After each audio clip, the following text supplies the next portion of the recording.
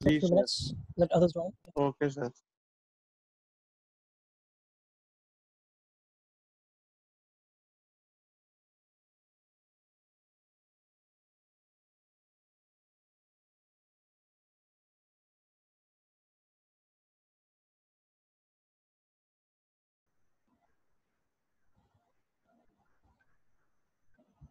आवाज आ रही है आप लोगों को Yes, sir. पिछले लेक्चर से कोई सवाल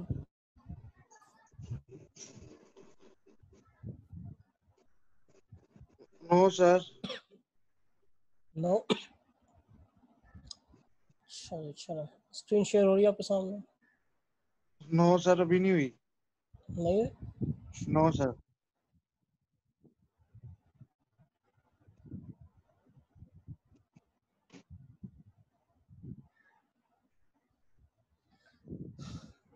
हो गई यस सर Yes, sir.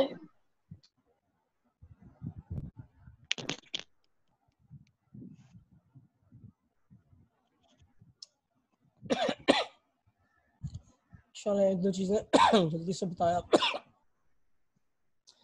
कि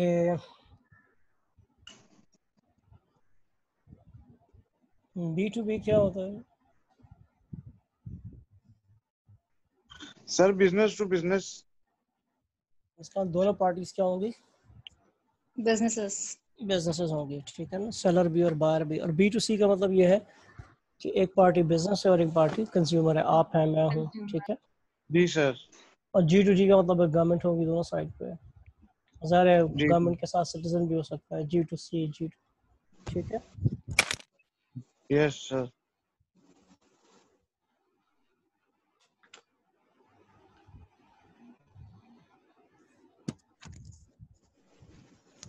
ठीक।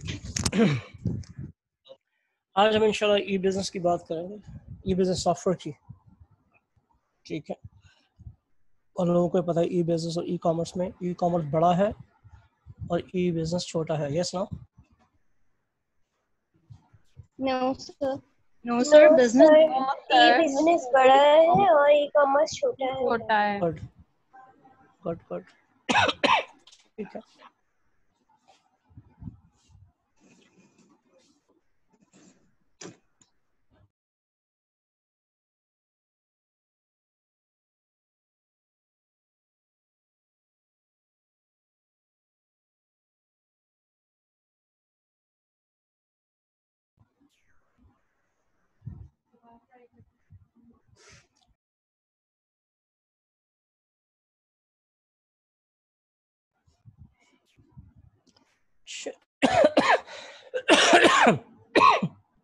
सर आपका गला नहीं ठीक हुआ?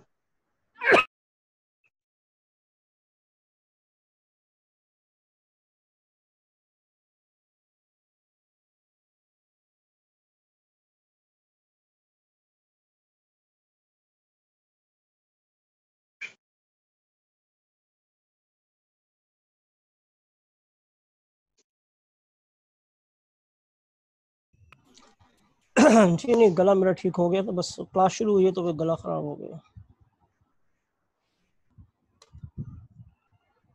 मुझे लग रहा है कि कुछ क्लास से ताल्लुक के गले।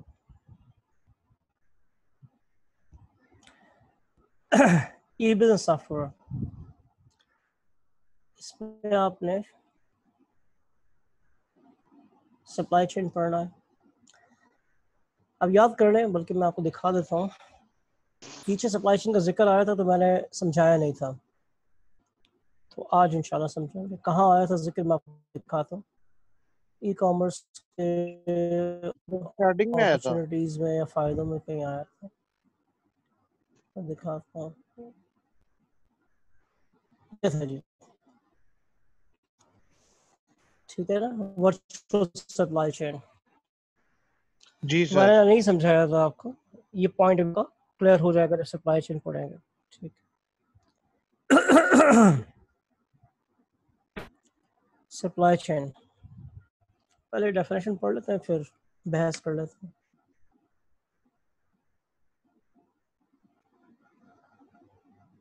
सप्लाई चेन है क्या? Links from supplier to producer to resellers, distributors, dealers, wholesalers, stockists, retailers, and consumers. Supply chain basically एक लिंक है किसका लिंक है पहले बंदे से लेके आखिरी बंदे तक पहली पार्टी से लेके आखिरी पार्टी तक पहली पार्टी कौन है अगर हम थोड़ी सी छोटी पिक्चर देखें शुरू में तो इसको बड़ा कर लेंगे एक है प्रोड्यूसर और एक है कंज्यूमर ठीक है? एक है प्रोड्यूसर एक है कंज्यूमर प्रोड्यूसर से लेकर कंज्यूमर तक रास्ते में जितने भी लोग आ रहे हैं, उन सबको मिला लें। वो क्या बन गया आपका? सप्लाई चेन एक छोटी एग्जांपल से शुरू करते हैं। फॉर एग्जांपल एक मैन्युफैक्चर गाड़ियाँ बनाता है। और एक कंज्यूमर आप और मैं गाड़ी इस्तेमाल करते हैं लेकिन मैं और आप डीलर से गाड़ी लेते हैं। तीन पार्टीज़ आ गई बीच में। तीन पार्टीज़ हो गई कुल। एक आपका हो गया प्रोड्यूसर गाड़ी मेकर एक हो गया डीलर और एक हो गया कंज्यूमर जी ये बात समझ आई? यस सर आगे. तीनों को मिला लें ये आपके सप्लाई चेन है। ठीक है? लेकिन बात यह है कि सप्लाई चेन इतनी छोटी नहीं होती है। सप्लाई चेन बहुत बड़ी होती है। बड़ी बड़ी कंपनियाँ हैं। इसीलिए मैं यहाँ पर सब कुछ लिखा है। कि प्रोड्यूसर जो है ना उसके पीछे भी सप्लायर होते हैं और एक सप्लायर नहीं होता। हो सकता है उनके जो सप्लायर है उसके पीछे मैं अगर प्रोड्यूसर हूँ मेरा एक सप्लायर है और मेरे सप्लायर का भी कोई सप्लायर होगा। यस ना Yes, sir. Yes, sir. Yes sir फिर प्रोड्यूसर आगे रीसेलर को देगा रीसेलर आगे डिस्ट्रीब्यूटर को डीलर को स्टॉकिस्ट को तो एक बड़ी लंबी चेन बन रही है बड़ी लंबी चेन बन रही है। लेकिन ये पूरी की पूरी chain is called supply chain जी और सप्लाई चेन में सारा क्या चल रहा होगा? इंफॉर्मेशन भी चल रही होगी क्या ख्याल है? Yes, sir. हर पार्टी को इंफॉर्मेशन दे रही होगी ना? Yes, चीज़ें भी चल रही सप्लायर चीज़ें दे रहा होगा प्रोड्यूसर को प्रोड्यूसर चीज़ें दे रहा होगा डीलर को यस ना? Sir. सर पेमेंट्स भी चल रही होंगी पैसे भी चल रहे होंगे।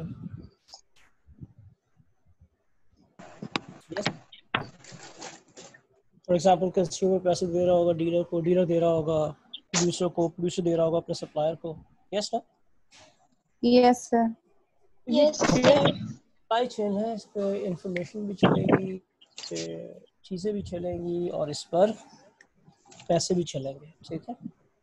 Yes, अच्छा एस सी एम क्या है? सप्लाई चेन मैनेजमेंट सर इस पूरी चेन को मैनेज करना एक बड़ा टेक्निकल काम है बिकॉज़ अगर ये चेन मैनेज नहीं हुई लेकिन अब बीच में आपका सप्लाई चेन में एक भी लिंक टूट गया। एक भी लिंक टूट गया मतलब ये है कि आपको कोई सप्लायर बैठ गया प्रोड्यूसर बैठ गया डीलर बैठ गया अभी आप देखिए ना because this COVID situation supply chain बुरी तरह से इफ़ेक्ट हुई है और इससे चीज़ों की कंज्यूमर्स को अवेलेबिलिटी इशू हुआ हुआ है। फॉर एग्जांपल कंज्यूमर चीज़ें मांग रहा है। आपने प्रोड्यूसर को ऑर्डर दिया हुआ है। लेकिन प्रोड्यूसर के पास फैक्ट्री बंद हुई हुई है बिकॉज़ ऑफ़ कोविड ठीक है। तो अब क्या होगा? अब कंज्यूमर को तो चीज़ें नहीं मिल रही। और आप एज अ बिज़नेस सफ़र कर रहे हैं बिकॉज़ आपके पास कस्टमर्स खड़े हुए हैं लेकिन आपकी सप्लाई चेन अफेक्ट हुई हुई पीछे। आप चीज़ें दे नहीं पा रहे आगे और आपका बिज़नेस ख़राब हुआ हुआ है। जी ये बात समझ आती? है yes sir I am sure you understand कि सप्लाई चेन ज़रूरी नहीं है आपके मुल्क में ही फैली हुई हो। इस सप्लाई चेन के पार्टनर्स आपके दूसरे मुल्कों में भी हो सकते हैं। और बाज़ क्या होता है कि आपके दूसरे मुल्क से ताल्लुक ख़राब हो जाते हैं तो अब वहाँ जो आपका सप्लायर बैठा हुआ है या प्रोड्यूसर बैठा हुआ है, उसको उसकी गवर्नमेंट ने मना कर दिया है कि भाई इसको ना दो चीज़ें। मसले हो जाते हैं। फॉर एग्ज़ाम्पल आप देखिए हमारे इंडिया से ताल्लुकात ख़राब हुए। इंडिया से बहुत सारा हमारे पास फार्मास्यूटिकल का सामान आ रहा था। रॉ मटेरियल आता था। बंद हो गया। तो हमारे पास जो लोकल प्रोड्यूसर थे फार्मर प्रोड्यूसर्स उनको मुसीबत पड़ गई। उनकी सप्लाई चेन अफेक्ट हो गई। और अब ज़ाहिर है कि अगर आपके पास रॉ मटेरियल नहीं है तो आप कैसे दवाएँ प्रोड्यूस करेंगे और मार्केट में डिमांड तो है। तो ज़ाहिर फिर आप ऑल्टरनेट सोर्सेज भी देखते हैं। कुछ हमने लोकल सोर्सेज देखे, कुछ चाइना से देखे। तो कर करा के दोबारा से प्रोडक्शन जो है, वो चल पड़ी। तो सप्लाई चेन को आपको मैनेज करना है। अगर आपने मैनेज नहीं किया कोई भी चीज़ आपको इफ़ेक्ट कर सकती है और आपका बिज़नेस जो है वो खराब हो सकता है। जी एवरीबॉडी sir. Yes, अच्छा sir. सप्लाई चेन मैनेजमेंट का मतलब है स्ट्रीमलाइनिंग द बिज़नेस प्रोसेसेस अब स्ट्रीमलाइन करने का मतलब क्या है? हर चीज़ को सिस्टमैटिक करना है हर चीज़ को क्या करना है सिस्टमैटिक आपके जो प्रोसेसेस हैं, वो सिस्टमेटिक हो जाए। अब बिज़नेस प्रोसेसेस में आप देखो ना, आपके पास मार्केटिंग का प्रोसेस भी है फाइनेंस का प्रोसेस भी है सेल्स का प्रोसेस भी है। सारे बिज़नेस प्रोसेसेस को आप स्ट्रीमलाइन कर लें। सारे ट्रांजैक्शंस को स्ट्रीमलाइन कर लें। वो ट्रांजैक्शंस जो आप अपने सप्लायर के साथ कर रहे हैं, वो ट्रांजैक्शन जो आप अपने सब कस्टमर्स के साथ कर रहे हैं ठीक है अपने सारे फ़ंक्शंस को, जो भी आपके इदारे में फ़ंक्शंस हो रहे हैं, और जो भी आपके रिसोर्सेज हैं ह्यूमन रिसोर्सेज फाइनेंशियल रिसोर्सेज सारे रिसोर्सेज को आप स्ट्रीमलाइन कर लें सेट कर लें। ये है supply chain management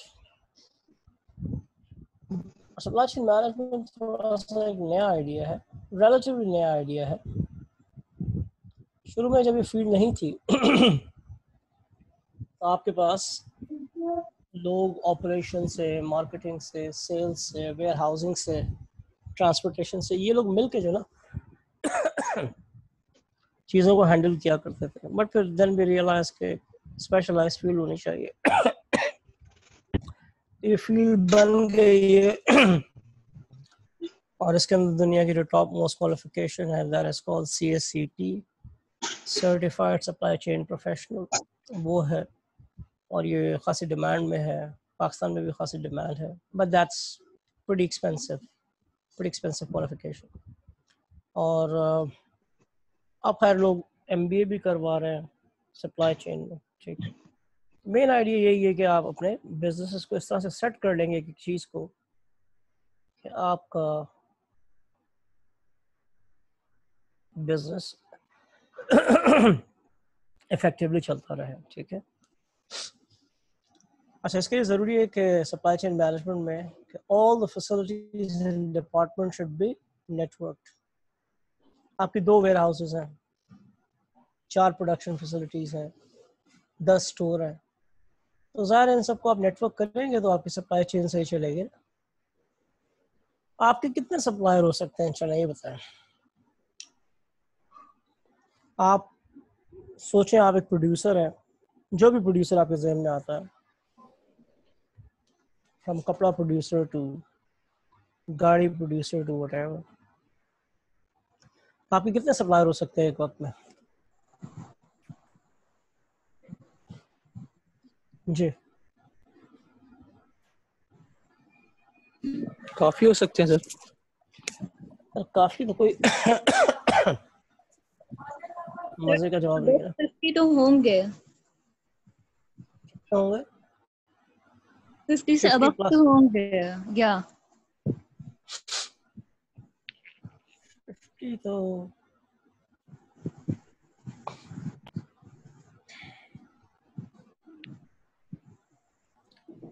चले और सोचे सर सर अगर हम अगर हम कार जैसी चीज़ बना रहे हैं तो हमारे मोर देन वन सप्लायर होंगे जैसे हम जो जो उसमें लोहा इस्तेमाल होना है उसका सप्लायर अलग से होगा जो उसके अंदर मशीनरी इस्तेमाल हो रही है उसका सप्लाई अलग से होगा टूल्स वगैरह हर चीज़ का बीस अलग अलग होगा कितने ये बताएँ कितने होंगे? सर सप्लायर कितने होंगे? जी। सर एक वक्त में सप्लाई हाँ सप्लायर तो अनलिमिटेड हो सकते हैं। अनलिमिटेड कोई चीज़ नहीं होती। है सप्लाई एक ही होगा सर। सप्लायर आपका एक ही होगा क्या होगा? ठीक है सर एक ही एक ही बंदे से चीज़ सप्लाई हो सकती है एक ही बंदे से हम मंगवा सकते हैं एक वक्त में सर कोटेशन तो कहीं से ले सकते हैं लेकिन एक चीज़ में हम एक ही चीज़ एक ही बंदे से चीज़ मंगवा सकते हैं सर। क्यों नहीं मैं हुआ क्यों ये कैसे होता है क्या मतलब? ये तो बड़ी अजीब गरीब बात की आपने। फिर सर। भाई आपके हज़ारों सप्लायर हो सकते हैं यार।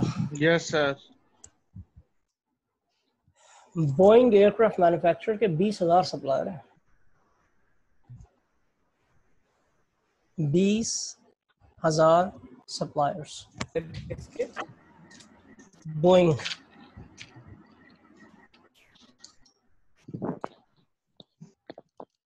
बोइंग के बीस हज़ार सप्लायर्स हैं।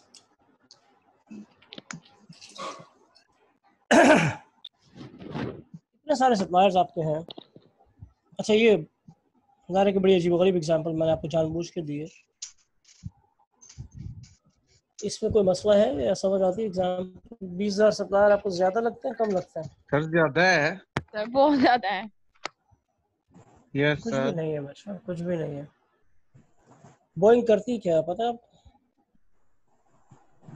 सर वो एयरबस एजेंसी है? अरे Boeing is competitor of Airbus. Airbus is European. Boeing is American.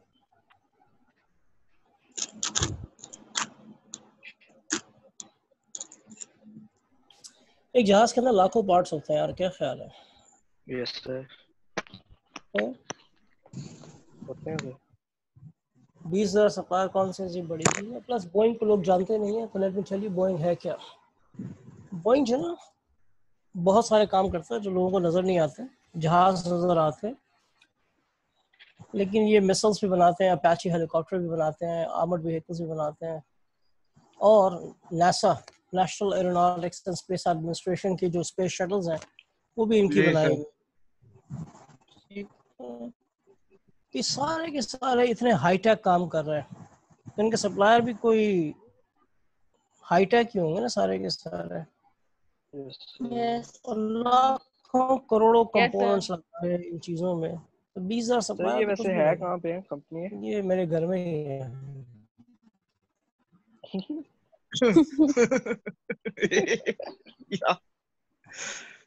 इसका मतलब आप बहुत ज़्यादा काम करते हैं।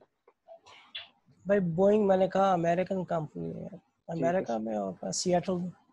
यस सर ठीक है जी। तो अब आप बड़ी कंपनी होते हैं ना तो आपके पास बहुत सारी मैन्युफैक्चरिंग फैसिलिटीज़ भी होती हैं आपके पास बहुत सारे वेयर हाउसेस भी होते हैं। और डिपार्टमेंट्स तो खैर हर कंपनी के अंदर ही होते हैं। उन सबको चीज़ों को प्रॉपरली मैनेज करना is basically supply chain management जी बात समझ आती है sir yes sir yes sir और ज़ाहिर है कि ये एक बड़ी Yes, चीज़ है फॉर वर्टिकली इंटीग्रेटेड ऑर्गेनाइजेशन अच्छा आप लोग मेरा ख्याल है पढ़ रहे हैं क्या कहते हैं मैनेजमेंट या मार्केटिंग तो वर्टिकल इंटीग्रेशन क्या होती है या इंटीग्रेशन क्या होती है?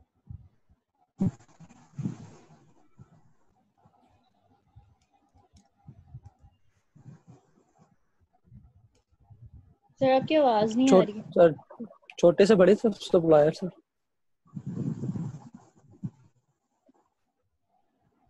sir question repeat कर दें क्वेश्चन ये है कि आप जब वर्टिकल इंटीग्रेशन क्या होती है? मार्केटिंग अगर आपने पढ़ी है तो। सर कौन सी integration vertical integration vertical same stage and same level of production. different level of production. Sir जिसमें स्टेज सेम होता है पर लेवल ऑफ़ प्रोडक्शन डिफरेंट होता है हम उसमें इंटीग्रेट कर लेते हैं दो कंपनीज़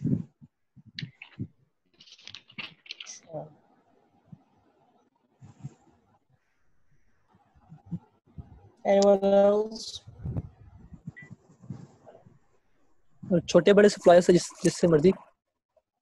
लिंक हो। देखिए अगर आप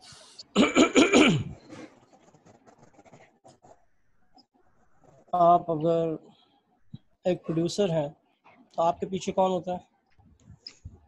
सप्लायर सप्लायर सप्लायर और आपके आगे कौन होता है? प्रोड्यूसर कंज्यूमर इंटरमीडिएट आपके पीछे सप्लायर होता है और आपके आगे कस्टमर होता है। ठीक है ना? तो बाज़ क्या होता है? आप अपने सप्लायर खुद बन जाते हैं। ऐसा हो सकता कि मैं अपना सप्लायर खुद बन जाऊँ। इज़ इट पॉसिबल जी सर हो सकता है। यस सर मैं मिसाल दूँ। सर अगर आप कोई टेक्सटाइल इंडस्ट्री में काम कर रहे हैं लेकिन आप आप कॉटन एक दूसरी इंडस्ट्री है जो आप ही की है जो कॉटन सप्लाई करती है तो आपकी दूसरी कंपनी आपकी इस वाली कंपनी को कॉटन प्रोवाइड करेगी तो आप सप्लायर भी बन जाएँगे। और मैन्युफैक्चरर भी बन जाएँगे। सर जैसे शुगर शुगर क्या है? शुगर कैन है? क्या बताएँ इसको मजीद बताएँ। सर वो शुगर कैन खुद वो, वो उगाते हैं और फिर उससे ही। हाँ लेकिन मेरा ख्याल ऐसा नहीं कि शुगर केन खुद उगाते हैं आप। लेकिन अगर फॉर एग्जांपल यस अगर आप शुगर केन खुद ही उगा रहे हैं और आपकी शुगर मिल भी है तो इसका मतलब आप अपने सप्लायर खुद ही हैं। यस सर यस सर इसकी अच्छी मिसाल आपने देखी होगी ऐड में सुनी होगी। मिचल्स के अपने बागात। मिचल्स बनाता है जैम जेलीज और मार्मलाइड्स जी सर उनके अपने बागात है। उसका तो अपने सप्लायर खुद ही है। ठीक है ना? तो ये वर्टिकल इंटीग्रेशन है। फिर बाज़ का तो अपने कस्टमर भी खुद ही बन जाता हैं। फॉर एग्ज़ाम्पल अब देखें के एन एन चिकन जो है हर जगह मिलता था।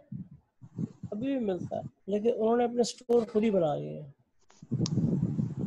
एन ने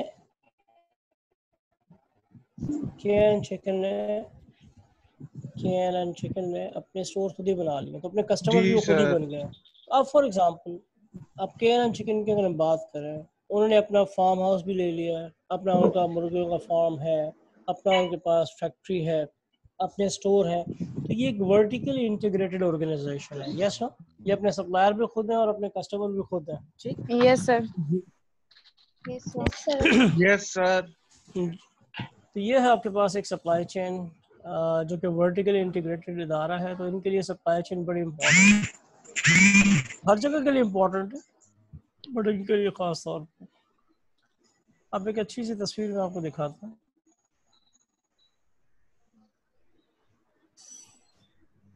जो बात हमने की है वो आपको यहाँ पर नज़र भी आ रही है। तो आप देख रहे हैं सप्लायर है। सप्लायर से चीज़ें जा रही हैं किसके पास? मैन्युफैक्चरर के पास। मैन्युफैक्चरर से जा रही हैं डिस्ट्रीब्यूशन डिस्ट्रीब्यूशन सेंटर से चीज़ें जा रही हैं किसमें? पॉइंट ऑफ़ सेल में स्टोर में जा रही हैं या कोई ई कॉमर्स की वेबसाइट है, वहाँ जा रही हैं। और वहाँ से चीज़ें जो है, अगर ख़राब होती हैं तो मैन्युफैक्चरर के पास जा रही हैं ठीक है। यहाँ से चीज़ें चली गई किसके पास? कस्टमर के पास। और कस्टमर को चीज़ पसंद नहीं आई तो फिर एक रिवर्स लॉजिस्टिक होती है। रिवर्स लॉजिस्टिक का मतलब है कस्टमर ने चीज़ वापस की स्टोर को और स्टोर ने मैन्युफैक्चरर को वापस की। जी everybody yes sir yes sir yes sir sir एक बार रिपीट कर दीजिए। सर सर एक बार रिपीट कर दीजिए। सप्लायर्स ने चीज़ें दी। मैन्युफैक्चर ने चीज़ें बना के डिस्ट्रीब्यूशन सेंटर में दी। डिस्ट्रीब्यूशन सेंटर से चीज़ें स्टोर में चली गई। जी सर स्टोर से चीज़ें बिक के घर पे चली गई। लेकिन बाज़ का चीज़ें ख़राब होती हैं। जी फिर सर वो चीज़ें वापस स्टोर में आई और स्टोर से वापस Yes, sir, yes, में तो ये पूरी की पूरी आपके पास। सॉरी मैन्युफैक्चरर्स के बाद सप्लायर को चले जाएँगे हाँ वो डिपेंड करता है। मैन्युफैक्चर के पास सप्लायर के पास नहीं जाएँगी। कि फॉर एग्जांपल अगर एक गाड़ी का मैन्युफैक्चर था और गाड़ी में कोई मसला है, ये जूसर ब्लेंडर आपने लिया था, उसमें कोई मसला है तो मैं सप्लायर को वापस, वो तो खुद ही जो उसके अंदर खराबी है, उसको सही करके देगा। तो सप्लायर के पास चीज़ें नहीं भेजेगा। हो सकता है वो सप्लायर से उसके कुछ कंपोनेंट्स कुछ पार्ट्स वार्ट्स ले मजीद जी बात समझ आ रही yes sir yes sir everyone Yes, sir. Yes, sir. Yes, sir. चलें great.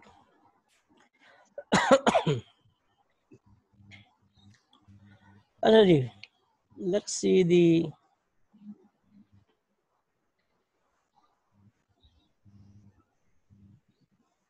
phases of supply chain management.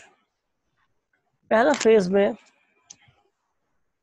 इदारे जो थे, वो डिपार्टमेंटलाइज्ड ऑर्गेनाइजेशंस थी। यानी आपकी सप्लाई चेन बहुत स्ट्रांग नहीं थी, पहला फ़ेज़ और आज भी आपको कुछ इदारे मिलेंगे इस फ़ेज़ में। कि डिपार्टमेंट्स काम कर रहे हैं, लेकिन अलग अलग काम कर रहे हैं। उनके आपस में कनेक्शन स्ट्रांग नहीं है। उनके अपने सप्लायर से कनेक्शन इतने स्ट्रांग नहीं है अपने कस्टमर से रिलेशन इतने स्ट्रांग नहीं है जी ये बात समझ आती है Yes, sir. Yes, sir. Yes, sir. तो ये फ़ेज़ वन है तो मैंने आपसे कहा कि आजकल ऐसा बहुत कम है ज़्यादातर इदारे जो हैं वो अपने कस्टमर्स और सप्लायर के साथ इतने अच्छे फॉर एग्जांपल मैंने भी आपको एग्जांपल दी बोइंग की। अब बोइंग अपने सप्लायर के साथ किस लेवल पे अटैच होगा सोचिए आप। बहुत स्ट्रॉन्ग कनेक्शंस होंगे। Yes no Yes, sir. Yes, sir. ठीक है जी। अच्छा जो फ़ेज़ वन पे इदारे हैं इनके आपस में डिपार्टमेंट्स के भी अंदर ज़्यादा कोऑर्डिनेशन नहीं है। और चला वो सेल्स वालों का इन्वेंट्री से इतना स्ट्रांग लिंक नहीं है। मार्केटिंग का सेल्स से नहीं है। सेल्स का फाइनेंस से इतना स्ट्रांग तो basically they do not have very good connections within the organization and with outsiders with trading partners as well जी ये बात क्लियर है Yes, sir.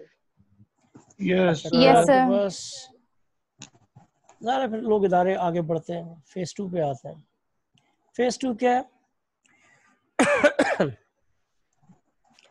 इंटीग्रेटेड ऑर्गेनाइजेशन जो है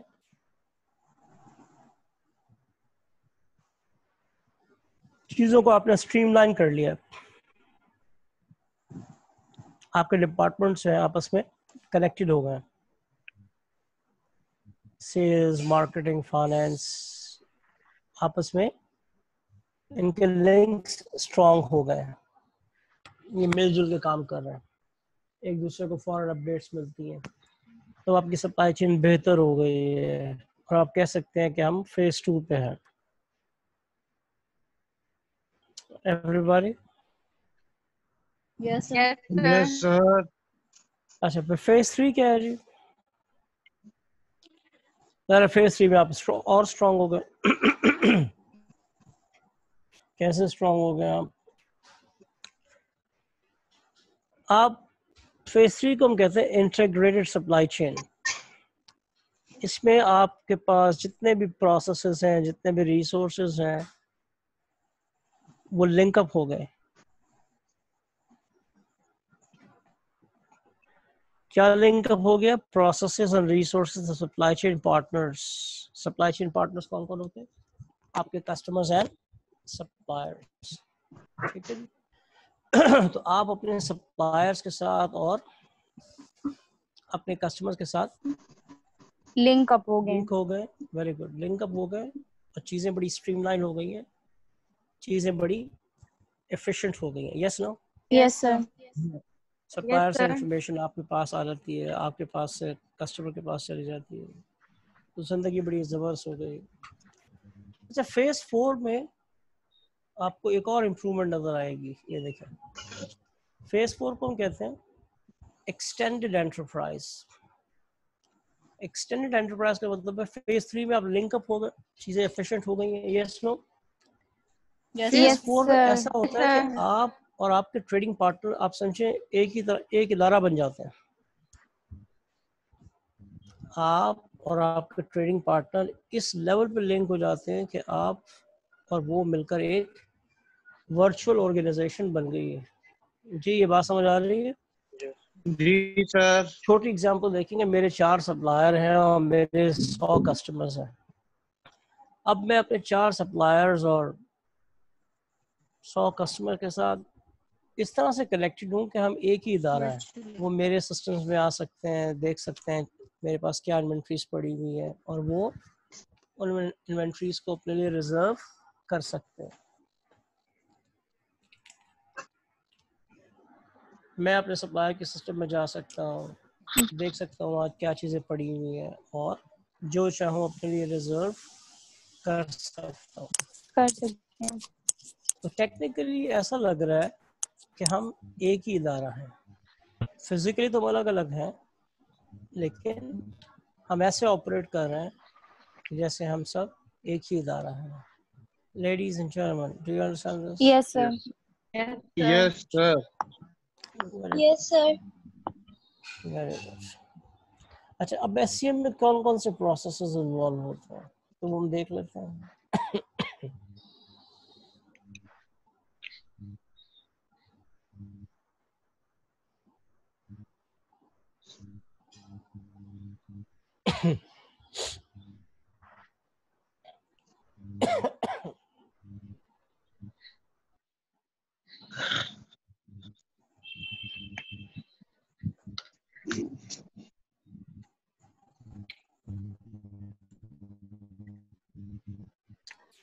अच्छा जी, एक तो होता ऑर्डर एंट्री का प्रोसेस ऑर्डर एंट्री मेरे कस्टमर्स मुझे ऑर्डर प्लेस करते अच्छा अब इस ऑर्डर एंट्री को मैं ऑटोमेट कर सकता हूँ। और इसीलिए हमने पीछे सिस्टम डेवलपमेंट और ई कॉमर्स पढ़ लिया हुआ है। तो मैंने एक ई कॉमर्स की वेबसाइट बना ली हुई है। वहाँ पर मेरे कस्टमर्स आ सकते हैं। और मेरी वेबसाइट पे चीज़ों का ऑर्डर प्लेस कर सकते हैं। Yes no yes yes sir वो आएँगे वेबसाइट पे रजिस्टर करेंगे। अपनी डिटेल्स डालेंगे रजिस्टर करेंगे, मेरे कैटलॉग को सर्च करेंगे, जो भी चीज़ें चाहिए ऑर्डर प्लेस करेंगे और ट्रांजैक्शन कर लेंगे, ठीक है? दूसरी चीज़ जो एससीएम में होती है,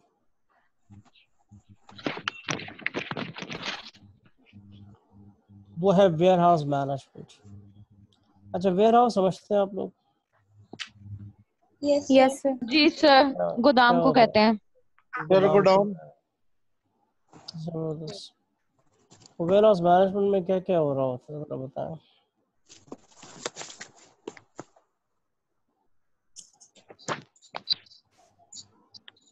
सर वो फिनिश गुड इन्वेंट्री को सारा हैंडल करते हैं। यानी कि जब चीज़ मुकम्मल तौर पे तैयार हो जाती है तो फिर वो वेयर हाउसेस में रखी जाती है ताकि वो आगे जाके कस्टमर्स तक पहुँचे।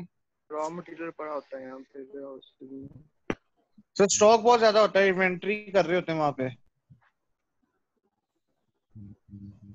हाँ। वेरी गुड और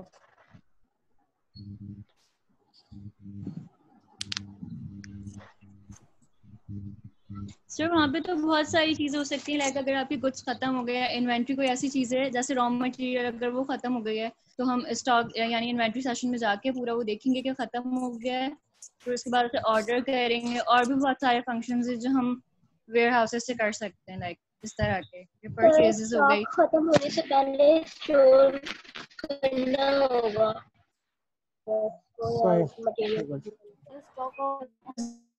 बहुत सारी चीज़ें हो रही होती है। चीज़ें आ भी मेनली आप देखें चीज़ें आ रही होती हैं फिर स्टोर हुई होती हैं फिर चली जाती हैं यहाँ से चीज़ें ठीक है ना? तो अब यहाँ पर चीज़ें आ रही हैं हज़ारों यूनिट्स आ रहे हैं लाखों यूनिट्स आ रहे हैं तो उनकी डेटा कैप्चरिंग उनको इनपुट करना पड़ेगा ना? ताकि पता चले कि मेरे वेयर हाउस वन में क्या कौन कौन से आइटम्स हैं कितने आइटम्स हैं ठीक है? जी सर। इसके लिए हमारे पास ऑटोमेटिक डेटा कैप्चरिंग का मैकेनिज्म है। पीछे पढ़ चुके हैं हम लोग। Optical bar recognition optical mark recognition scanners yes sir yes तो इनकी कैप्चरिंग है फिर इनकी रिसीट है फिर ये चीज़ें यहाँ से डिस्पैच भी होती है ठीक है ना? For example if you just you just go back to the picture. ये जो आपका डिस्ट्रीब्यूशन सेंटर है फॉर एग्जांपल इसको अगर हम वेयर हाउस समझें तो ये चीज़ें आ रही हैं ना फिर यहाँ से आगे जा भी रही हैं। तो हिसाब किताब करना पड़ेगा हमें वेयर हाउसिंग में कई चीज़ें यहाँ लिखी हुई है। ऑटोमेटिक डेटा कैप्चरिंग होती है। रिसीट है डिस्पैच ऑफ़ गुड्स है। और इन्वेंट्री मैनेजमेंट भी हो रही होगी। आपको पता होगा हर लम्हे हमारे पास कितने यूनिट्स हैं, ठीक है? ये सब सप्लाई चेन का हिस्सा है। तीसरी चीज़ क्या है? मैन्युफैक्चरिंग रिसोर्स मैनेजमेंट अच्छा मैन्युफैक्चरिंग रिसोर्स मैनेजमेंट का मतलब है कि आपके पास, आपकी पूरी फैक्ट्री है।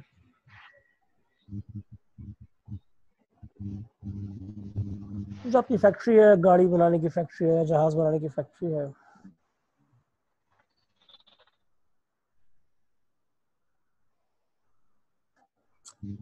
या कपड़ा बनाने की फैक्ट्री है कारपेट्स बनाने की फैक्ट्री है, या गारमेंट्स बनाने की जो भी फैक्ट्री है, इसके रिसोर्सेज को तो मैनेज करना पड़ेगा हमें। या जितनी मशीनें हैं, जितने आपके पास लोग हैं तो ये भी सप्लाई चेन का ही हिस्सा है। क्योंकि अगर आपकी मैन्युफैक्चरिंग फैसिलिटी में प्रॉब्लम होता है तो यू थिंक आपकी आगे सप्लाई चेन पूरी की पूरी हिल जाएगी।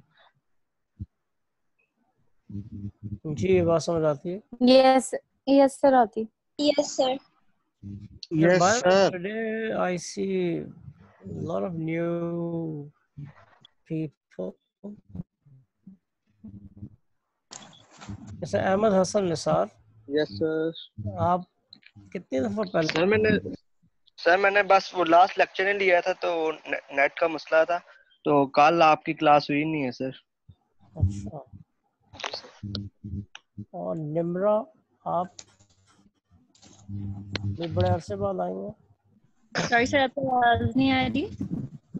मैं कह निम्रा बड़े दिनों बाद आई हैं आप।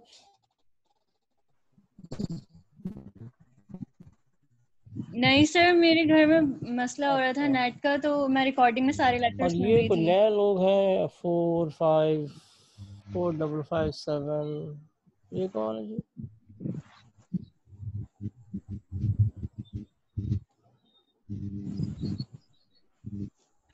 Double five seven double four zero कौन है ये भी कोई नया साहब है आरिफ आप भी नए आदमी हैं जी नो रिप्लाइज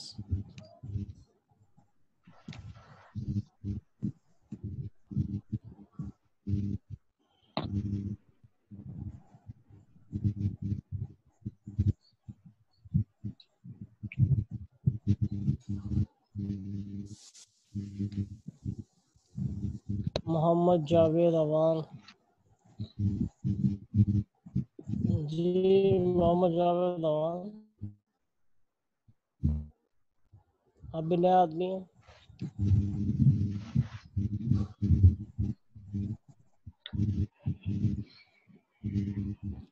तो माशाल्लाह मज़े की बात है कि लोग जवाब भी नहीं देते। आई डोंट नो शायद उनके माइक म्यूट यस सर उनके माइक म्यूट होंगे। ये माइक तो म्यूट हो तो आवाज़ आ रही है ना। जी सर। वो अनम्यूट.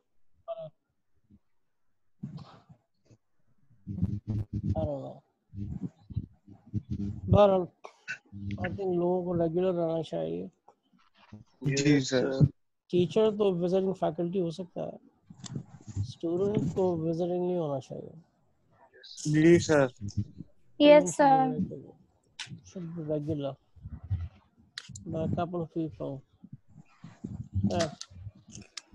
ऐसे जी मैन्युफैक्चरिंग रिसोर्स तो आपकी जो भी मैन्युफैक्चरिंग फैसिलिटी है चाहे वो जहाज़ बनाने की है चाहे कपड़े बनाने की है उसको भी आपने प्रॉपर्ली मैनेज करना है। अगर मैनेज नहीं हुई तो आपकी आगे कस्टमर को चीज़ें नहीं मिलनी। इसके लिए हमारे पास जो एक कॉन्सेप्ट है जे I T G J I T का पता लोगों को? Very popular days just in time हर वक्त टेलीविज़न पे आ रहा होता है Just in है? time. Just in time.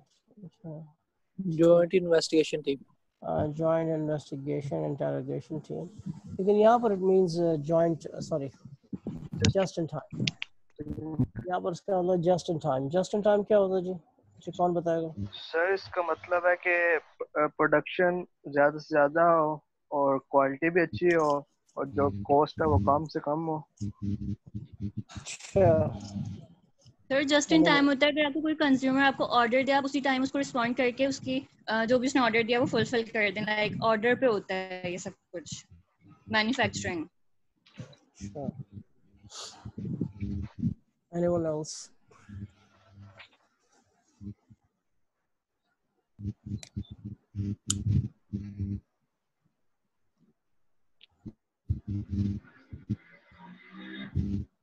और जी सर गिवन टाइम पीरियड में अपना टाइम अपना टास्क कंप्लीट करना होता है। देखिए जस्ट इन टाइम इज़ जी हाँ बोले। वेस्ट ऑफ़ रिसोर्सेज को काम करना। ये भी हो सकता है। हाँ सारे जस्ट इन टाइम होगा तो चीज़ें वेस्ट नहीं होंगी। यस जस्ट इन टाइम का मतलब है कि जब ज़रूरत है ना चीज़ उसी वक्त मिल जाए। पहले हम क्या कर रहे थे? हम बना बना के चीज़ें रखते थे। फिनिश गुड्स की इन्वेंट्री हमारे पास करोड़ों की पड़ी होती थी। मार्केट में ज़रूरत पड़ी। हमने अपने वेयर हाउस से पहुँचा दी चीज़ें। अच्छी बात है बुरी बात है? है अच्छी बात है। अच्छी बात। आपने इतनी बना के चीज़ें रखी हुई हैं वेयर हाउसिंग की हुई, है। तो हम क्या करते हैं, हम उतनी ही बनाते हैं जितनी कस्टमर को चाहिए। और जस्ट इन टाइम देते हैं। जैसे इसकी डिमांड आती है, इसकी डिमांड आई है कि अगले चार दिनों में जितने यूनिट्स चाहिए, हमने बना के दे दिए उससे इसी तरह से हम रॉ मटेरियल को भी स्टोर नहीं करते। रॉ मटेरियल भी जो है, पहले हमारे पास अरबों रुपए का रॉ मटेरियल पड़ा होता था। वो एक्सपायर भी हो जाता था। पैसा भी हमारा फंसा रहता था। अब क्या है just in time just in time का मतलब है जिस वक्त रॉ मटेरियल की ज़रूरत पड़ी, उसी वक्त। फॉर एग्ज़ाम्पल हम कार मैन्युफैक्चरर हैं। मैंने अपने सप्लायर को बता दिया कि कल जो है मुझे अपनी गाड़ियों में टायर लगाने, ठीक है? ये शॉक लगाने सुबह दस बजे। तो सुबह दस बजे उसकी गाड़ी जो है ना शॉक अब्जॉर्बर्स लेकर आ जाएगी। सप्लायर की गाड़ी टायर्स लेकर आ जाएगी जो भी चीज़ चाहिए। और वो हम उसको लेकर उसी वक्त गाड़ी में लगा देंगे। तो मैं इन्वेंट्री रखने की ज़रूरत नहीं है। Yes no Yes. Yes sir this is basically just in time. This is the central idea of just in time. अच्छा फिर वेब बेस ऑर्डरिंग है। सारे वो तुम देख चुके हैं कि वेब बेस्ड ऑर्डरिंग मैं अपने सप्लायर से मेरे कस्टमर में उससे वेब के थ्रू ऑर्डर कर सकते हैं। अच्छा सप्लाई चेन में सारा कि फाइनेंशियल साइड भी बड़ी इंपॉर्टेंट है। अगर आप प्रॉपर सप्लाई चेन मैनेजमेंट कर रहे हैं तो आपको मेक श्योर sure करना है कि आपके सारे फाइनेंशियल स्टेटमेंट्स टाइम पे बन जाए। आपके इनवॉइसेस रिसीट्स जितनी चीज़ें वक्त पे बन जाए। वक्त पे बन जाएँगी तो क्या होगा? आपका पेमेंट भी वक्त पर हो जाएगी यस ना सर पहले हमने डिलीवर कर दी कस्टमर को फिर उससे हमने कहा पेमेंट करो तो उससे कहा पेमेंट कहाँ से करो? आपने मुझे इनवॉइस तो किया ही नहीं है। तो मैं ख्याल आया कि यार इनवॉइस तो किया ही नहीं अब इनवॉइस बनाई उसको भिजवाई दस दिन मजीद लग गए लेकिन यहाँ क्या है कि जैसे ही आपके पास चीज़ें डिस्पैच बनेगा। और आप हो जाएँगे। जी everybody Yes, sir. Yes sir right अच्छा अब सप्लाई चेन ज़ाहिर है कि हम कोई भी चीज़ आजकल मैन्युअली हैंडल नहीं कर रहे हैं। अकाउंटिंग भी हम मैन्युअली हैंडल नहीं कर रहे अकाउंटिंग फाइनेंस मार्केटिंग प्रोडक्शन कोई भी चीज़ मैन्युअली हैंडल नहीं हो रही। तो हर चीज़ के लिए सॉफ्टवेयर आ गया। तो सप्लाई चेन के लिए भी आपके पास सॉफ्टवेयर आ गया। ठीक है? Yes, sir. Yes, अब ये सॉफ्टवेयर क्या करेगा? आपके हर टाइम फ्रेम को उसने कम कर दिया। हर टाइम फ्रेम को। पहले किसी चीज़ में एक हफ़्ता लगता था, वो एक दिन में हो जाती है। इस सॉफ्टवेयर की मदद से पहले कोई चीज़ जो है, जो कि एक महीने में हो रही थी, अब दो दिन में हो जाती है। तो क्या क्या चीज़ें देख लेते हैं? फॉर एग्ज़ाम्पल अब देखिए आपका एक्सिक्यूशनल टाइम फ्रेम जो है ना, वो तकरीबन अब एक दिन रह गया। फॉर एग्ज़ाम्पल देखिए पहले ऑर्डर अपडेट कैसे होती थी? मुझे कोई चीज़ चाहिए। अच्छा किसी का माइक जो है ना कुछ ज़्यादा गड़बड़ कर रहा है जी सर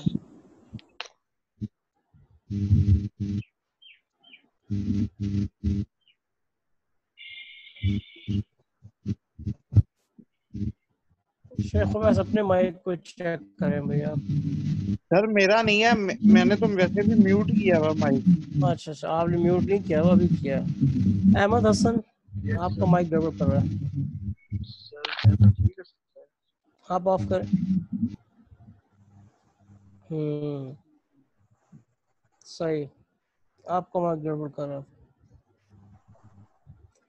अच्छा फॉर एग्जांपल पहले कैसे ऑर्डर आपको वो चीज़ चाहिए तो आप उसके आउटलेट पे गए, आपने कहा, जी, मुझे ये चीज़ चाहिए। आपने ऑर्डर प्लेस कर दिया। वो उस ऑर्डर को अपडेट करते थे अपनी फैक्ट्री में मे बी वीकली बेसिस पे। लेकिन अब ऐसा नहीं है। अब वीकली बेसिस नहीं। अब हो सकता है डेली बेसिस पे वो अपने फैक्ट्री को अपडेट कर रहे हैं कि हमारे पास ये ऑर्डर आ गए। तो वो टाइम जो कि पहले, और बल्कि अब तो ऐसा भी हो सकता है कि इधर ऑर्डर आया आउटलेट में और उधर आपने अपनी फैक्ट्री में अपडेट कर दिया। क्या ख्याल है? तो ऑर्डर की जो अपडेट का टाइम जो कि पहले वीकली था अब वो एक दिन बल्कि एक दिन में नहीं अब चंद घंटों में। अब ऐसा हो रहा है कि जो आपके स्टोर ऑर्डर ले रहे हैं वो हर घंटे दो घंटे में अपनी फैक्ट्री को पीछे अपडेट कर देते हैं। Everybody Yes, sir. Yes, sir. दूसरा आपके पास एक्सिक्यूशन टाइम फ्रेम के साथ एक चीज़ थी operational time frame order fulfilling अच्छा पहले ऑर्डर फुलफिलिंग में भी बड़ा टाइम लगता था। ऑर्डर आ गया फैक्ट्री में, अब वो उसकी हिसाब से मैन्युफैक्चरिंग हो रही है या चीज़ों की डिलीवरी हो रही है। ये पहले वीक्स की कहानी थी। और आज आपको ऑर्डर फुलफिलमेंट आपने देखा है। फॉर एग्जांपल अगर आप बात करें ऑनलाइन शॉपिंग की भी तो इधर आपने ऑर्डर प्लेस किया और उधर आपके पास दो तीन दिन के अंदर चीज़ें आ गई। तो ऑर्डर. फुलफिलमेंट का टाइम भी कम हो गया हुआ है जो कि पहले दराज पे अभी भी बहुत सारे वीक्स लग जाते हैं। से अगेन दराज पर अली एक्सप्रेस पर अभी भी बहुत ज़्यादा टाइम लगता है। यस सर वन वीक से ज़्यादा लगता है। अच्छा अब वो एक मिनट हेलो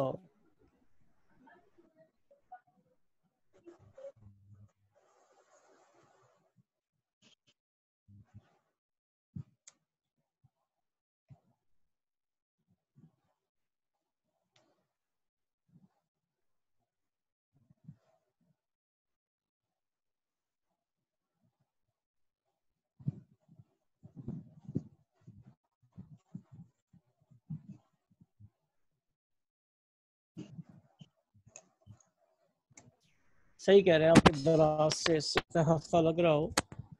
लेकिन अब उसकी वजह ये भी है कि somehow यू नो वो एक बहुत बड़ा सेटअप हो गया है और उसके अंदर बहुत सारे लोग आ गए ऑर्डर्स ज़्यादा आ रहे हैं। But again thanks to this software जिसकी वजह से वो एक हफ़्ते में कर रहे हैं, वरना otherwise if there was no software, it would have taken 15 20 days ठीक है। यस सर अच्छा फिर आपके पास अगली चीज़ है tactical time frame tactical time frame is a lead time lead time समझते हैं आप? what is lead time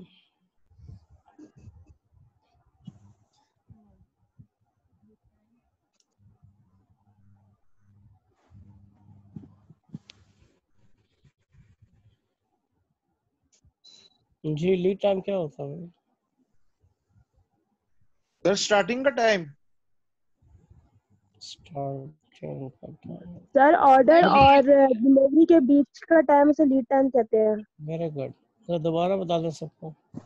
जो ऑर्डर और डिलीवरी के बीच का टाइम होता है उसे लीड टाइम कहते हैं। मैंने ऑर्डर प्लेस किया कि मुझे चाय पिला दें। जी सर और जब मुझे चाय मिली तो दोनों के बीच में जितना टाइम है that is the lead time order place किया उन्हें कहा चीज़ें आपको छः हफ्तों में मिलेंगी. तो the six week is the lead time ठीक है जी? यस सर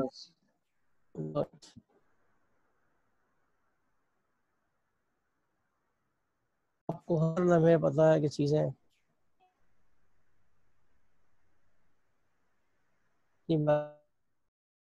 कि कब पूरी हो रही है वगैरह। तो Yes. चीज़ें जल्दी डिलीवर कर देते हैं ठीक है तो लीड टाइम कम हो गया जो पहले लीड टाइम बाज़ महीनों में था अब वो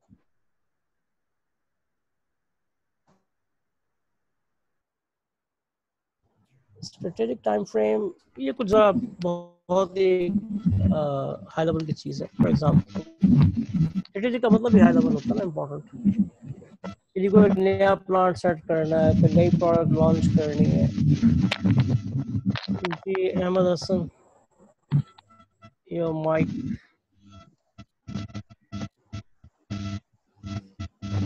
अहमद हसन अपने माइक ऑफ़ कर रहे हैं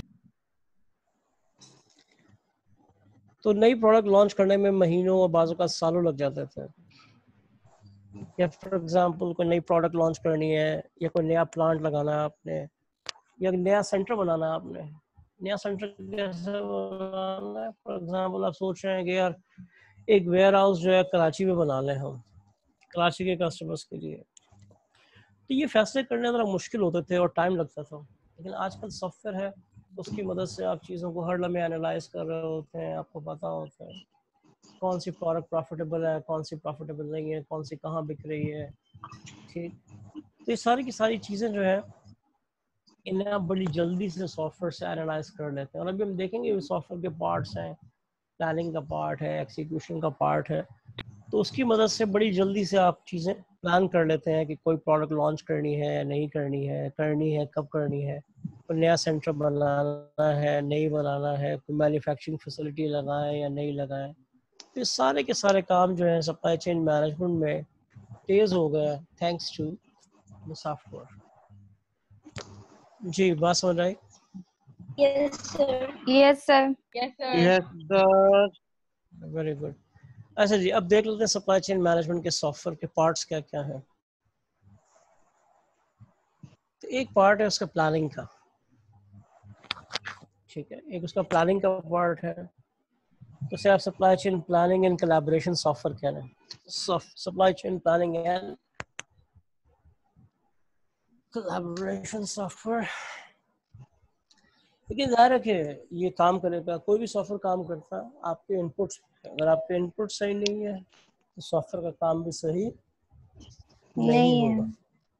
ठीक है? तो ये प्लानिंग कर सकता है। फॉर एग्जांपल प्लानिंग में आपके लिए डिमांड मैनेजमेंट कर सकता है। अब फॉर एग्जांपल आपके पास एक चीज़ के बहुत ऑर्डर्स आ रहे हैं। एक प्रोडक्ट के बहुत ऑर्डर आ रहे हैं। उसकी डिमांड ज़्यादा है, उसकी डिमांड कम है। तो ये आपको प्लानिंग में मदद दे सकता है। बेस्ड ऑन द डिमांड ये आपको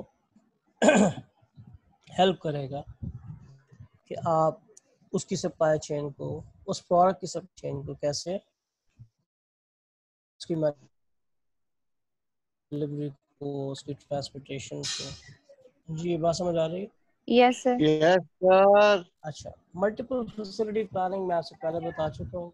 बाज़ हमारे पास मल्टीपल प्रोडक्शन फैसिलिटीज़ होती हैं बाज़ मल्टीपल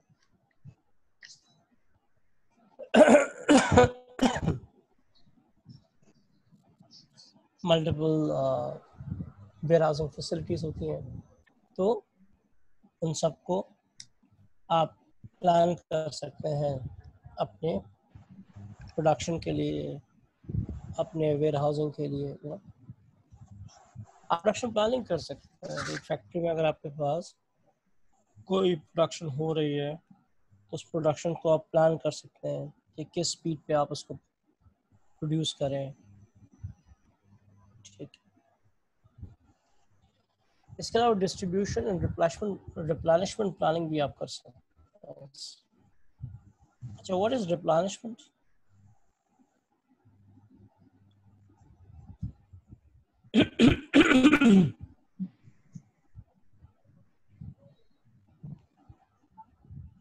जी रिप्लेनिशमेंट क्या होती है?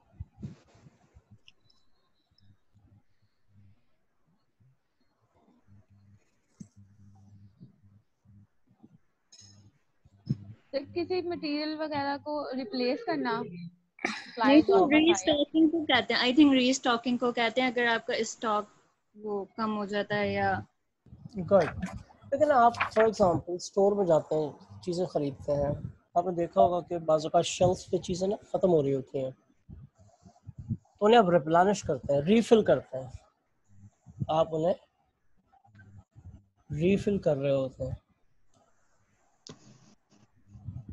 आप उन्हें रीफिल कर रहे होते हैं दैट इज़ रिप्लानिशमेंट इसी तरह से स्टोर के अंदर चीज़ें अगर हैं आपके पास तो आप हर अपना जो स्टोर है उसको भी रिप्लानिश कर रहे होते हैं ना ओवरऑल फॉर एग्जांपल आपके शहर में पता चला एक कंपनी है उसके चार स्टोर हैं तो वो फिर अब चारों स्टोर को रिप्लानिश करते होंगे ना डेली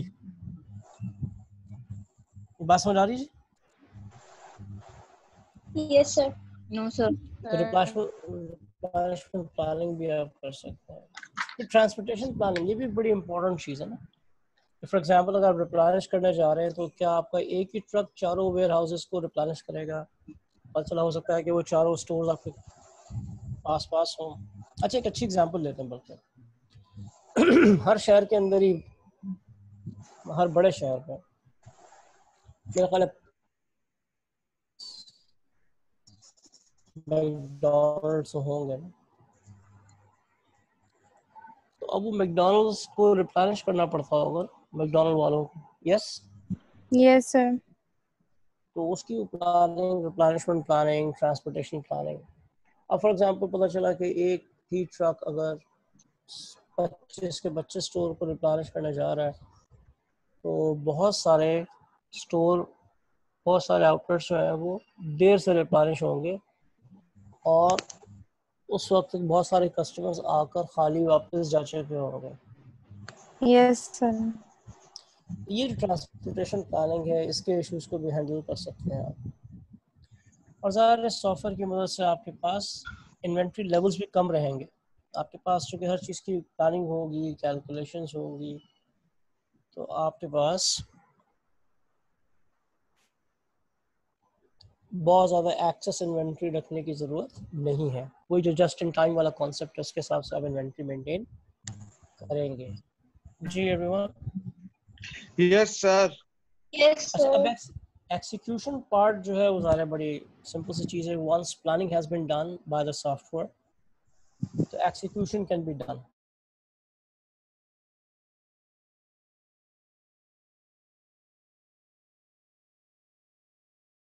जी। सर ने हम टाइम फ्रेम से भी रिलेट कर सकते हैं ना लाइक अभी आपने जो इसमें पूरे ऊपर बताया प्लानिंग वगैरह इसमें तो इसमें हमें हम्म। स्ट्रैटेजिक से कंपेयर कर सकते हैं। अभी आपने ऊपर स्ट्रैटेजिक टाइम फ्रेम बताया है। लेकिन स्ट्रेटेजिक टाइम फ्रेम्स तो आमतौर से when you are launching a new product उसके लिए है। जी। बट डेफिनेटली फॉर एग्जांपल पहले मेरे लिए फैसला करना बड़ा मुश्किल था कि मैं कराची में एक और आउटलेट खोलूँ या नहीं खोलूँ कहाँ खोलूँ? जी। लेकिन अब पता चला मुझे इसमें कई महीने लगे फैसला करने में लेकिन अब मैं फैसला आसानी से कर सकता हूँ बिकॉज़ मेरे पास हर जगह से डेटा आ रहा है। मेरे सॉफ्टवेयर में मौजूद है इसकी वजह से मैं प्लानिंग कर सकता हूँ देख सकता हूँ। मेरे लिए प्लान करना आसान है। यहाँ एक्सिक्यूशन में हम बात ये कर रहे हैं कि पीछे आपने जो भी प्लानिंग की है फॉर एग्ज़ाम्पल प्रोडक्शन प्लानिंग की है डिस्ट्रीब्यूशन प्लानिंग की है उसको कैसे एक्सिक्यूट करेंगे ये सॉफ्टवेयर आपको यहाँ पर गाइड कर सकता है। फॉर एग्ज़ाम्पल एक बड़ी अच्छी सी चीज़ है अवेलेबिलिटी प्रॉमिस जैसे कस्टमर ने वेबसाइट पर आके ऑर्डर प्लेस किया सिस्टम ने बता दिया कि आपको डिलीवरी मिलेगी दो दिन में। अगला कस्टमर जो आया, उसको सिस्टम ने बोला, आपको डिलीवरी मिलेगी दो हफ़्ते में। क्यों? इसलिए कि सिस्टम ने चेक किया पीछे कि हमारे पास इन्वेंट्री कितनी पड़ी हुई है, उसकी बेसिस पे उसने आपको बता दिया दो दिन। अच्छा अगला कस्टमर जो आया उस वक्त तक आपकी inventory for example let's say खत्म हो गई थी तो अब सिस्टम ने चेक किया कि पीछे कितने यूनिट्स हैं जो वर्क इन प्रोसेस हैं और कब तक बनेंगे कब तक इन्वेंट्री में आएँगे। तो उसके बेसिस पे उसने अगले कस्टमर को प्रॉमिस किया कि आपको चीज़ें मिलेंगी दो हफ़्ते में। जी ये बात समझ आ रही है? Yes, Yes, sir. sir. अच्छा बाकी वेयर हाउसिंग भी आपकी ऑटोमेटिक हो गई है अब सारी चीज़ें जो है, आती हैं, उनका हिसाब किताब सिस्टम खुद ही कर रहा होता है। ट्रांसपोर्टेशन जो प्लानिंग हुई थी, उसके हिसाब से ट्रांसपोर्टेशन की मैनेजमेंट भी हो जाएगी। आपके जितने भी ट्रक्स हैं, उनकी सारी की सारी प्लानिंग पीछे हो गई है। अब एक्सिक्यूशन होती रहेगी, उसके मुताबिक ट्रक्स जाते रहेंगे, आते रहेंगे। अपडेट्स आपके पास आती रहेंगी ट्रांसपोर्टेशन मैनेजमेंट भी आपकी होती रहेगी और आपको रिपोर्ट्स मिलती रहेंगी कि जी ठीक है, कौन से ट्रक्स वक्त पे निकले, वक्त पे नहीं निकले, या किसी खुदा खास ट्रक के साथ कोई मसला हो गया तो फिर चीज़ें वेयर हाउस पे या आउटलेट पे नहीं पहुँची। ठीक तो उसका क्या सोल्यूशन है, क्या ऑल्टरनेट है तो इस किस्म की तमाम चीज़ें आप मैनेज कर सकते हैं थ्रू सॉफ्टवेयर अच्छा एक बड़ा ज़बरदस्त feature is handling international trade यार इंटरनेशनल ट्रेड में कुछ डॉक्यूमेंटेशन बढ़ जाती है, कुछ कॉस्ट के एक्स्ट्रा फैक्टर्स आ जाते हैं इंटरनेशनल लॉज आ जाते हैं तो शायद मैं उनका ख्याल ना रखूँ मिस कर दूँ। लेकिन जब मैं ये काम कर रहा हूँ through supply chain management software और उसको पता है कि फॉर एग्जांपल ये चीज़ें पाकिस्तान से ईरान जा रही हैं तो अब सॉफ्टवेयर में चीज़ है कि ईरान के हिसाब से क्या डॉक्यूमेंटेशन प्रिपेयर करनी है? क्या एक्स्ट्रा कॉस्ट होगी? क्या फ्रेट होगा? क्या चीज़ें होंगी? वो सारी की सारी चीज़ें जो है ये खुद ही कंसिडर करके ऐड कर लेगा। तो मेरा जो गलती करने का चांस था वो कम हो जाएगा बल्कि ख़त्म हो जाएगा। जी everyone Yes, sir. Yes, sir. अच्छा जी then we have supply chain process management software वो है कि बेसिकली ये आजकल कोई ख़ास चीज़ नहीं है। लेकिन इसका बेसिकली एक ज़माने का काम ये था binds the earlier two parts यानी अगर आप सिर्फ़ प्लानिंग का सॉफ्टवेयर ले रहे हैं तो प्लानिंग का ले लें एक्सिक्यूशन खुद हैंडल कर लें, या एक्सिक्यूशन का सॉफ्टवेयर ले रहे हैं तो प्लानिंग खुद कर लें। और अगर आप दोनों ले रहे हैं तो दोनों को बाइंड करने के लिए आपके पास supply chain process management software लेकिन आजकल इदारे क्या करते हैं?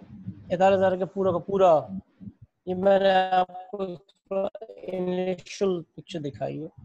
लेकिन आजकल क्या आप एक ही सॉफ्टवेयर लेते हैं, एक ही सॉफ्टवेयर है आपके पास सप्लाई चेन मैनेजमेंट का सॉफ्टवेयर और वो प्लानिंग एक्सिक्यूशन दोनों ही हैंडल कर रहा है। आज इस तरह से हम अलग अलग चीज़ों को नहीं देख रहे होते। लेकिन मैंने आपको ये ऐसे पिक्चर दिखाई जो शुरू में चलती रही है। तो प्लानिंग का सॉफ्टवेयर अलग था एक्सिक्यूशन का सॉफ्टवेयर अलग था, ठीक है? दोनों को बाइंड करने के लिए सॉफ्टवेयर अलग था। लेकिन आजकल एक ही सॉफ्टवेयर है। buy that supply chain management software and use it for your planning as well as execution जी बात समझ आ रही है? Yes, sir. सर ये सारे फ़ंक्शंस वो एक ही सॉफ्टवेयर करेगा जो आपने अभी ऊपर एक्सप्लेन किया अच्छा जो मशहूर मशहूर सॉफ्टवेयर हैं सप्लाई चेन मैनेजमेंट के उसमें एस है। एस का सप्लाई चेन मैनेजमेंट है औरकल का है J D Baan M F G pro लेकिन ये इनमें जो ज़्यादा पॉपुलर है वो आपके पास एस और Oracle है। S and Oracle. Oracle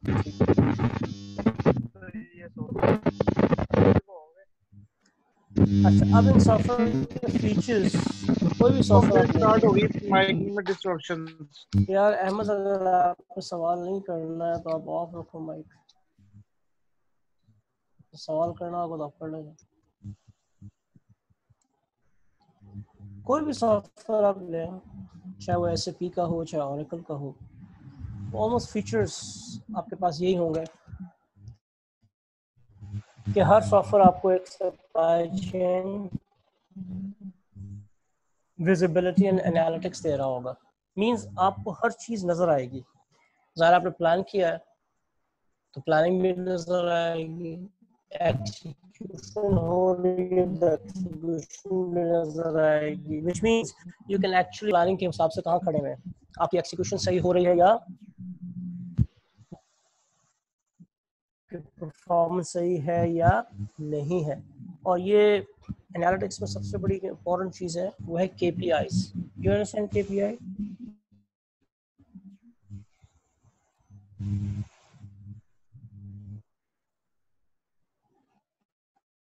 ji KPI लोग समझते हैं?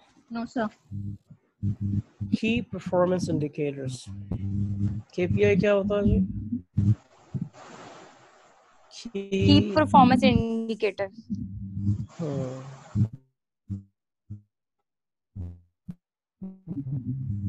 तो क्या होता है KPI की परफॉर्मेंस इंडिकेटर क्या परफॉर्मेंस हमारी कैसी है उसे इंडिकेट करेगा। कैसे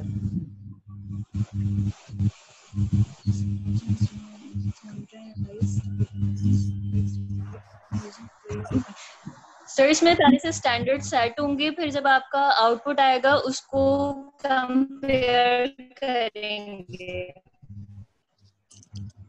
मे बी एक कॉलेज अच्छा है। कैसे पता चलेगी उसकी परफॉर्मेंस सर उसके पास्ट डेटा से उसके पास्ट रिज़ल्ट से। तो आप ये कह रहे हैं कि रिजल्ट्स जो हैं वो उसका परफॉर्मेंस इंडिकेटर है। ऐसे ही? यस यस सर KPIs जो है ना वो अपनी की performance indicators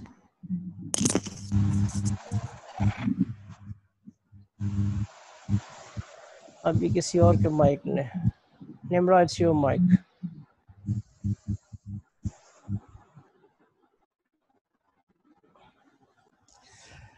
for example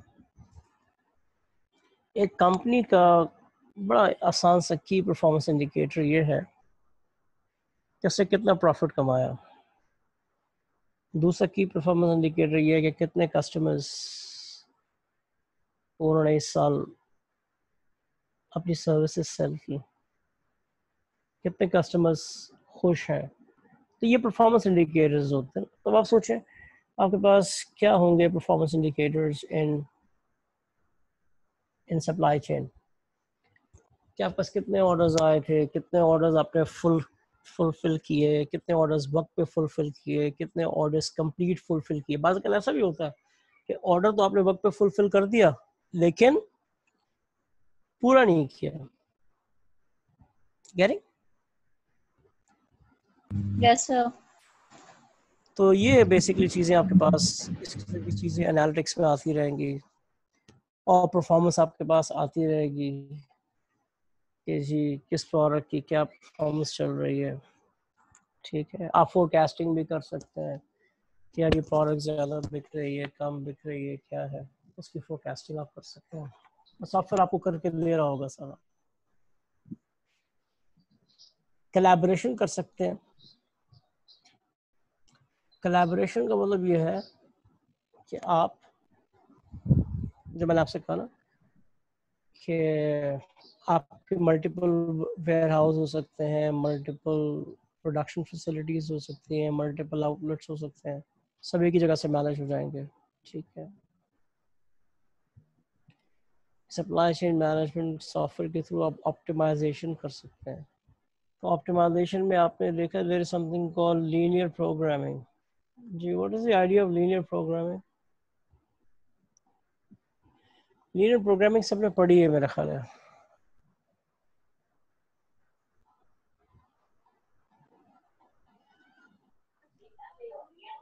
ji anyone what is linear programming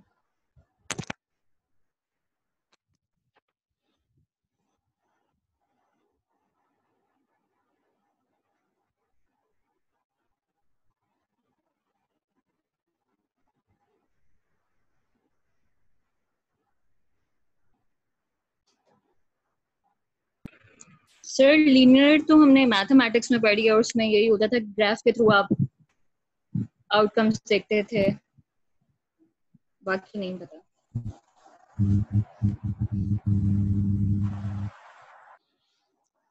costing पढ़ लिया आप लोगों ने?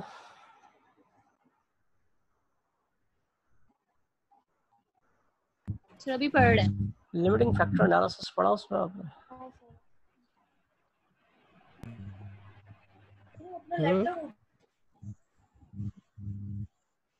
चलो खैर छोड़ा आप लोगों ने इस किस्म की चीज़ें शायद देखी होंगी मैथ्स में कहीं कि जी पता चला कि आप अगर इतने यूनिट्स बनाएँ ये वाले और इतने यूनिट्स ये वाले बनाएँ तो एक मसला आ रहा होता है ना कि इसको बनाएँ इतने इतने ये वाले बनाएँगे तो वो नहीं बनेंगे। कुछ ऐसा पड़ी चीज़ आप? सर हाँ तो वही बेसिकली लीनियर प्रोग्रामिंग की चीज़ें हैं ऑप्टिमाइजेशन है कि आप कितने ये यूनिट ए बना लें कितने यूनिट बी बना लें। इस किस्म का एनालिसिस भी आपको इसमें मिल जाएगा? ऑप्टिमाइज कर सकते हैं आपके, जी, ठीक है। कौन से यूनिट्स कितने बनाए जाए? ठीक है। फिर आपके पास एक और बड़ा अच्छा फीचर इसके अंदर है that is called real time execution real time execution का मतलब जो भी काम हो रहा है, वो फ़ौरन के फ़ौरन होगा। इधर आपने बटन दबाया, उधर चीज़ें एक्सिक्यूट हो गई। Everybody yes sir yes sir अच्छा जी। आपके पास फिर इसमें प्रोसेस मैनेजमेंट है।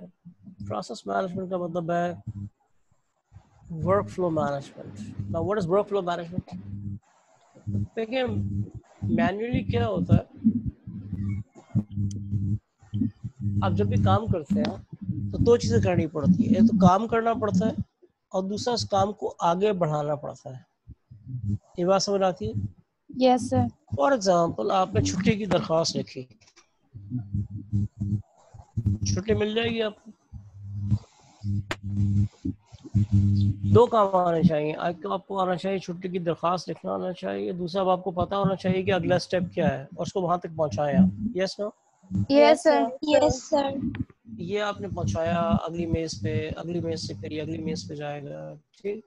ये है आपके पास वर्क फ्लो ये है वर्क फ्लो आप आईसीएम में एडमिशन लेते हैं तो आपको भी एक वर्क फ्लो से गुजरना पड़ता है कि जी, ये फॉर्म यहाँ से मिलेगा, फिर इसको यहाँ से आपने भरना है, यहाँ से साइन कराना है, वहाँ जमा कराना है। ये वर्क फ्लो है।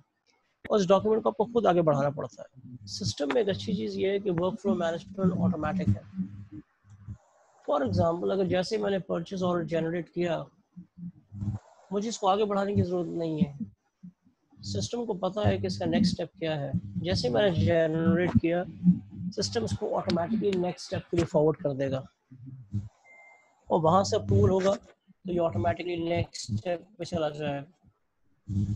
तो ये वर्क फ्लो मैनेजमेंट इसके अंदर बिल्ट इन है। कि चीज़ें डॉक्यूमेंट्स जब पूरे हो जाते हैं तो वो खुद ही आगे बढ़ जाते हैं। आपको उसे आगे बढ़ाने की ज़रूरत नहीं है। सिस्टम के अंदर डॉक्यूमेंट्स का फ्लो डिफाइंड है और वो उस फ्लो के मुताबिक आगे बढ़ते रहते हैं। जी बात समझ आती है? गुड यस सर और सारी सारी डॉक्यूमेंटेशन ऑटोमेटिक है ऑफ़िस में। ये है बेसिकली आपका सप्लाई चेन मैनेजमेंट का software supply chain management everybody understands? Yes sir yes yes sir अच्छा जी दूसरा जो चीज़ हमारे पास ई बिज़नेस सॉफ्टवेयर में that is ERP enterprise resource planning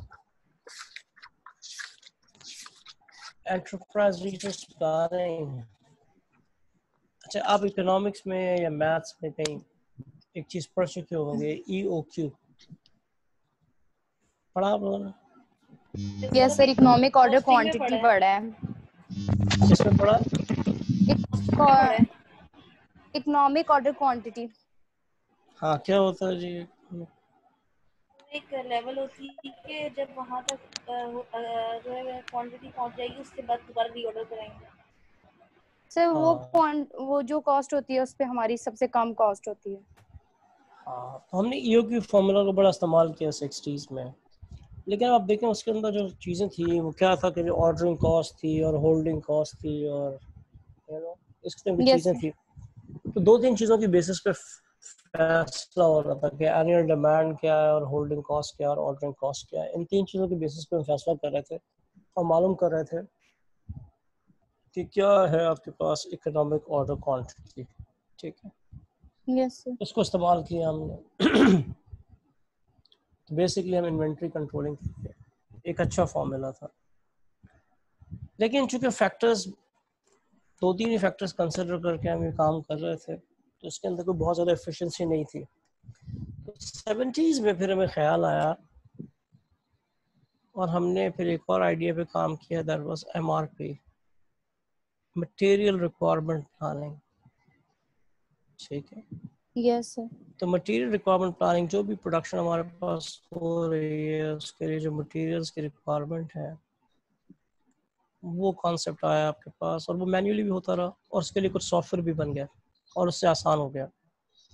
तब आपके पास जितनी मटेरियल रिक्वायरमेंट्स थी वो ज़्यादा बेहतर अंदाज में हैंडल हो रही थी through M R P but then we realize late seventies में कि अब मटेरियल तो हमारे पास होता है लेकिन कैपेसिटी के इश्यूज़ आ रहे हैं। प्रोडक्शन कैपेसिटी नहीं है। मटेरियल है लेकिन प्रोडक्शन कैपेसिटी जो है हमारे पास शायद कम पड़ रही है। तो फिर कॉन्सेप्ट आया सीआरपी का। कैपेसिटी रिक्वायरमेंट प्लानिंग कि आपको अपनी प्रोडक्शन कैपेसिटी को भी मैनेज करना है। ठीक है?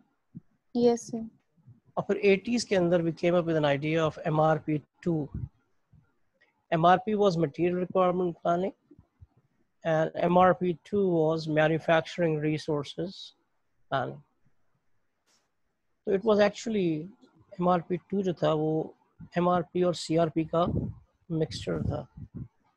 एंड इसके अंदर मैन्युफैक्चरिंग रिसोर्स प्लानिंग के अंदर आपके पास दोनों थी। दोनों चीज़ें थी। मटेरियल रिक्वायरमेंट प्लानिंग भी थी और कैपेसिटी रिक्वायरमेंट प्लानिंग भी थी। ठीक है दोनों चीज़ें इसके अंदर हमने हैंडल कर रहे हैं।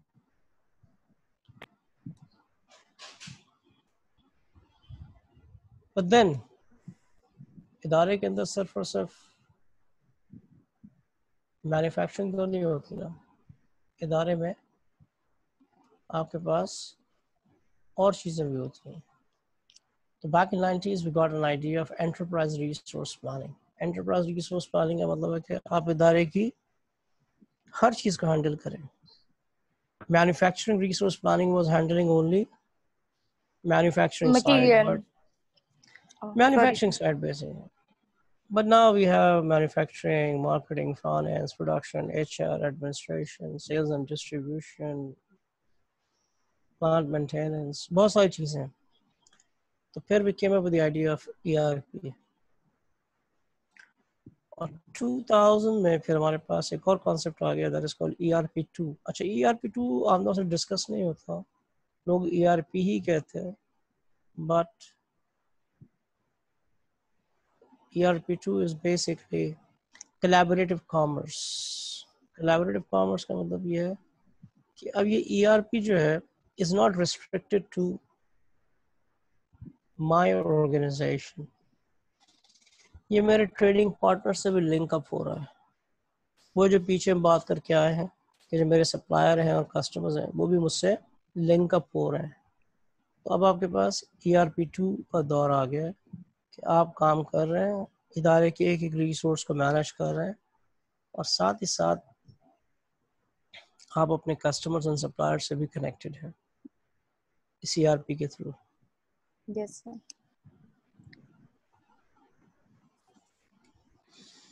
तो अगर हम डेफिनेशन देखें डेफिनेशन ये है कि ईआरपी बेसिकली एक इंटीग्रेटेड सॉफ्टवेयर है।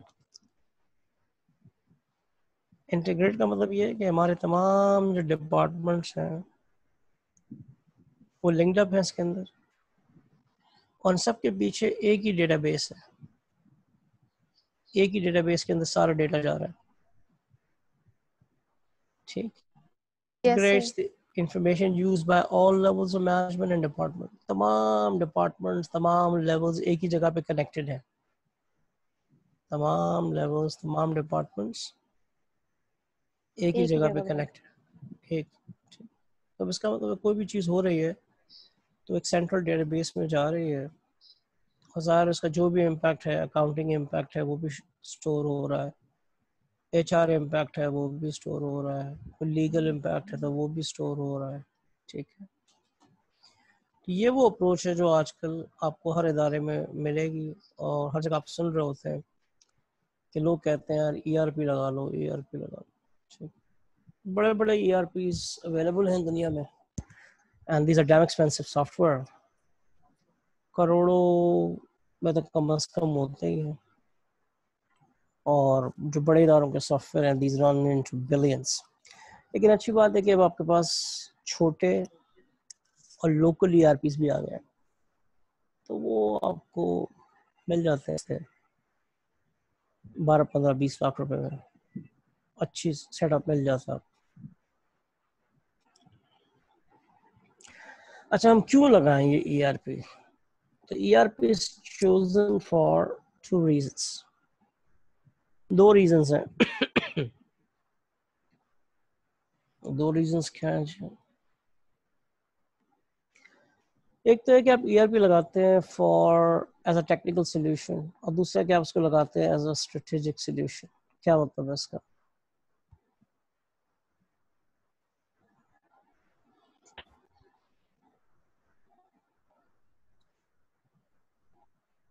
टेक्निकल सोल्यूशन का मतलब ये है।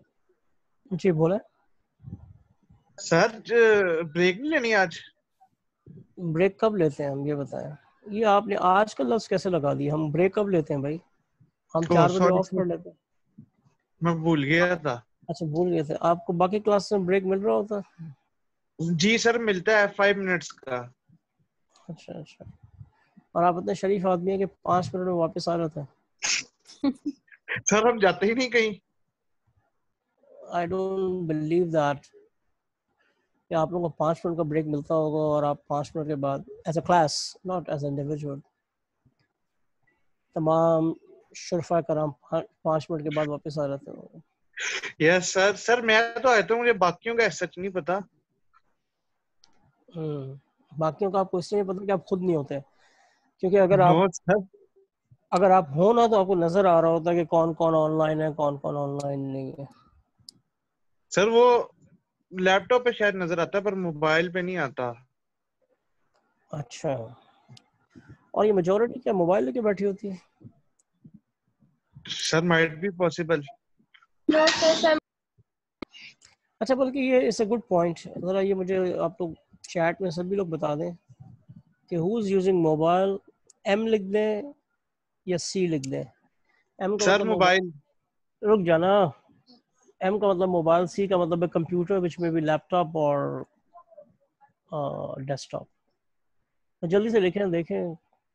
सर लिख दिया। लिख दिया।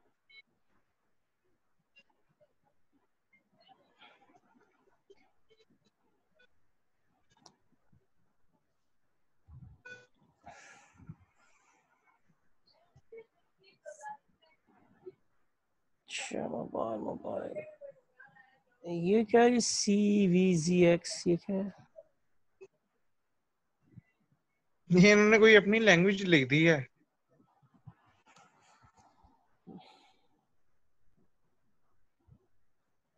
majority is having mobile. There are a lot of people with computer as well.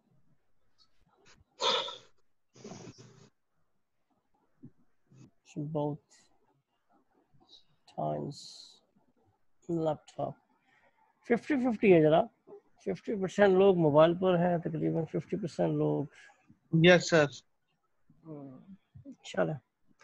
खैर टेक्निकल सोल्यूशन का मतलब ये है कि जी आपके पास एक पुराना सिस्टम लगा हुआ था और I am introducing a terminology जो कि आगे भी इस्तेमाल होगी लेकिन हमारा पुराना सिस्टम होता है बल्कि टर्मिनोलॉजी हम यूज़ कर चुके हैं लेगेसी सिस्टम पुराना सिस्टम यस सर 19 से 95 में एक सिस्टम लगाया था, से बड़ा अच्छा सिस्टम था उसको स्टेट ऑफ़ द आर्ट लेकिन आज 25 साल गुजर गए और अब ये सिस्टम हमारे रिक्वायरमेंट्स को पूरा नहीं कर रहा।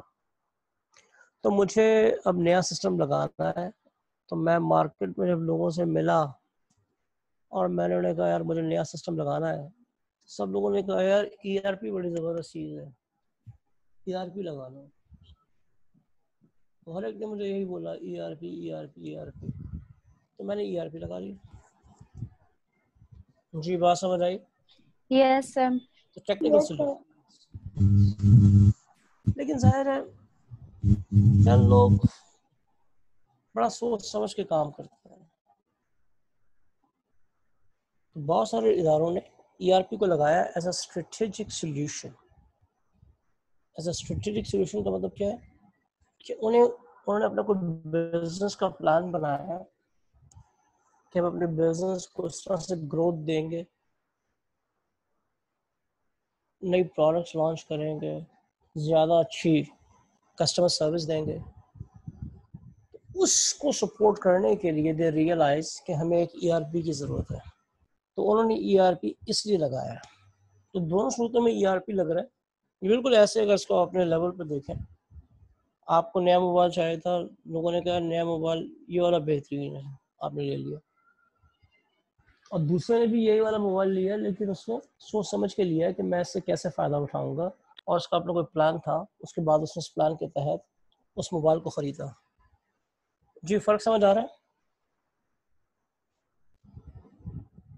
यस सर तो ये चीज़ है स्ट्रेटेजिक सोल्यूशन कि हमारा कोई बिज़नेस प्लान था और हमने सोचा इस बिज़नेस प्लान को अचीव करने के लिए हमें एक नया सॉफ्टवेयर की ज़रूरत है जो हमें ये ये ये इंफॉर्मेशन दे। इसलिए हमने ये सिस्टम ले लिया है। जी एवरीबॉडी यस सर चलें great let's keep it up to here बाकी बातें इंशाल्लाह फिर नेक्स्ट टाइम करें कल करते हैं। Okay okay ji thank you very much okay sir अल्लाह हाफिज अल्लाह हाफिज सर अल्लाह हाफिज रह नहीं सकते आप हैं